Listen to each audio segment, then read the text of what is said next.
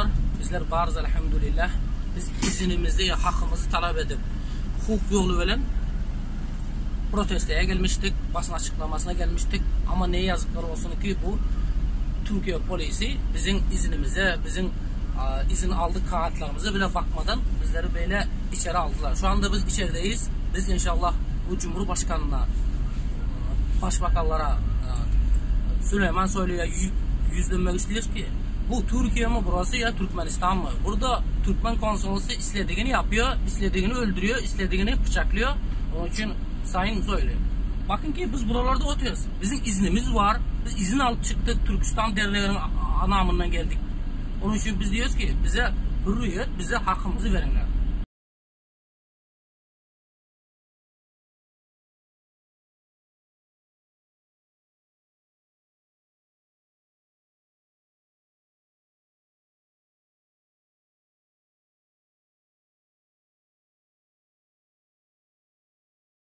2021 Ağustos'un birinde akşam saat a, 16'da orada bir kendi hak hukuklarımızı savunma için konsolosun önünde bir e, basın açıklaması yapacaktık. Hatta bizim e, valilikten izin de almıştı.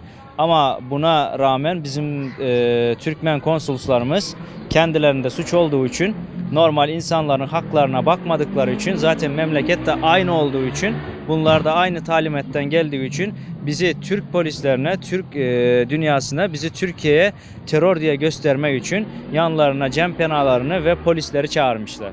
Ve onları da bizim, bizim üstümüze şükürdüler. Yani bizim üstümüze bir gün terör geliyor falan filan ama biz orada hiçbir terörlük alakamız yoktu. Ne üstümüzde silahımız var, ne bıçağımız var, ne başka bir şeyimiz. Sadece lafımızı anlatacağız ki diyecektik yolları açın, yollar açılsın, insanlar gitsin gelsin. Bizim yurt dışı pasaportlarını yitiren vatandaşlarımız var, kaybedenler var. Onlara yenisini verin. Türkmen pasaportları var ellerinde. Eski pasaport. Onları yurt dışı vatandaşı pasaportunu verin ve o pasaportları e, verdikten sonra burada kolay kolay kalmaya oturma izin, çalışma izinler sürekli yapılacaktı. Biz onu sağlamak için gelmiştik ama bizim karşımıza öyle terör diye polislerle beraber bizim karşımıza tehdit ettiler.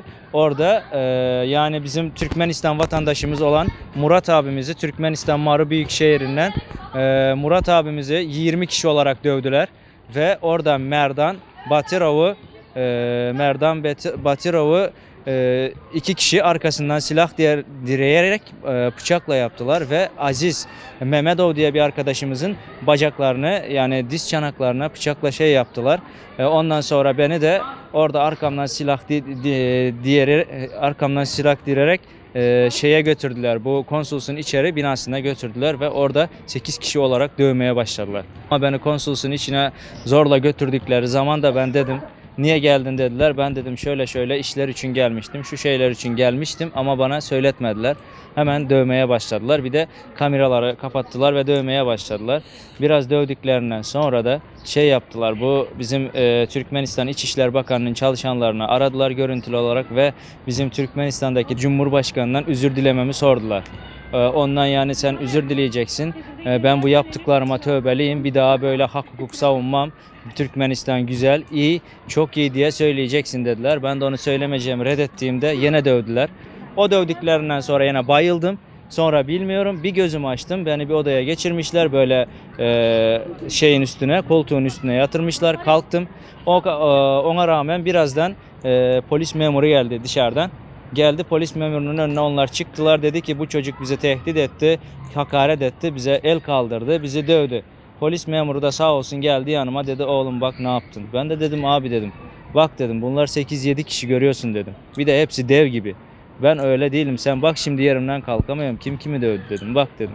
Ondan sonra ne için geldin? Niye geldin dedi. Polis memuruna dedim. Bak polis bey dedim. Bizim dedim pasaportlar dedim. Çoğu kaybetmiş dedim. Çoğu da eski pasaport. Onunla da oturma izin vermiyorlar dedim Türkiye'de.